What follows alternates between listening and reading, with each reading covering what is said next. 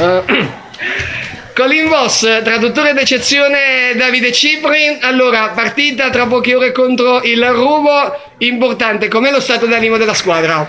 Uh, on, on Saturday we will play against Ruvo, so tell us uh, tell how the team is, feels this game and uh, our sensation, your feelings. Yeah, we feel we feel good. Uh, I think we are ready to play. I think for the most part we're we're healthy.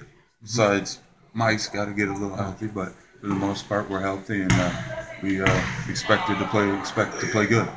Eh, siamo bene, ci, stiamo, ci sentiamo bene, veniamo da uh, 4-5 partite fatte bene, abbiamo giocato bene, e a parte un po' l'infortunio di Mike in settimana, però dovrebbe recuperare per sabato, per domani e quindi ci aspettiamo di fare una bella partita. Fino adesso un torneo particolarmente positivo e finora già avere il quarto posto in classifica è sicuramente un buon vantaggio. Uh, until now uh, we did a positive tournament, so we are in the fourth place and so So, and I think we can continue to move up in the rankings.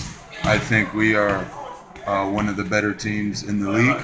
Uh, and I think we can continue to move up and uh, to, the, to get close to first place. E ha detto che possiamo fare ancora meglio, quindi anche avanzare a qualche altra posizione e conclu- concludere il campionato nel migliore dei modi, poiché siamo, uno dei, delle squadre, una, siamo una delle squadre più forti di questo campionato. Grazie.